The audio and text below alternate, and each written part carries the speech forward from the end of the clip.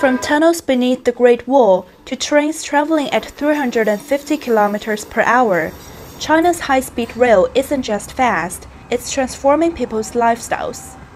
Behind the speed lies a vast, interconnected system built on precision engineering, innovative technology, and massive data coordination.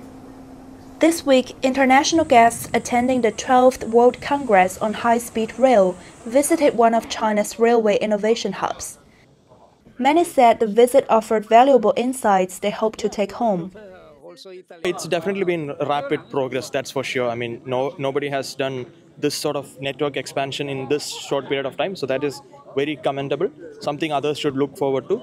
Um, so yeah, I, I, hope we can learn so, something, a thing or two from uh, from you know what, what we are seeing here today from Chinese railways and implement it back home. So I understood the new trains are more modern, faster, better. That's what I like to see here. He's referring to the CR450, China's latest generation high-speed train, which has drawn global attention. Uh, the CR450 is designed for a record-breaking commercial speed of 400 kilometers per hour. To achieve that, we didn't just tweak parts. It took years of deep system-level innovation. We've made the train lighter, more aerodynamic, and more energy efficient. While the CR450 is still in testing, the currently operating CR400 model already holds the world's fastest commercial speed and guests had the chance to ride the train and experience what millions of Chinese passengers enjoy every day.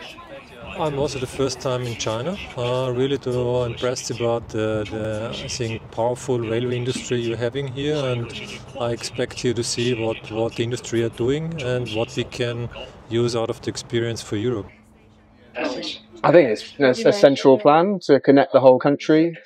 Um, yeah, there's a real willingness to change the geography of the country, bring cities that were once distant much closer together, promote economic integration between different areas to connect people, offer opportunities to travel like, like they haven't had before.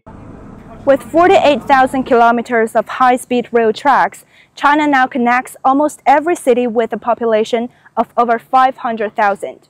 On peak days, up to 10,000 high-speed trains run across the country, fast, smart, and redefining the way we travel.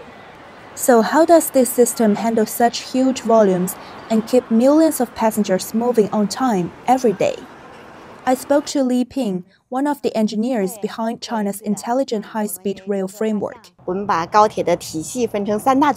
China's intelligent high-speed rail integrates smart construction, equipment, and operations to offer safer, smoother, and more energy efficient travel. Each intelligent train has over 2,000 sensors that monitor key components in real time to ensure safety. It also features automatic driving, which learns from top drivers to optimize comfort. Passenger satisfaction has steadily improved since the system was launched. Li says one tour that most people are familiar with is China's smart ticketing and scheduling system which uses real-time data to adjust train dispatches based on passenger demand. But that's just one part of a much larger ecosystem.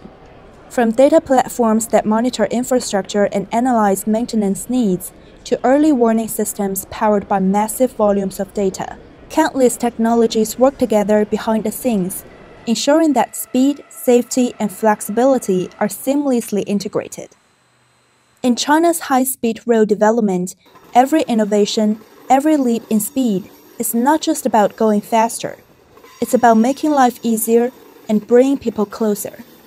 周星 CGTN Beijing。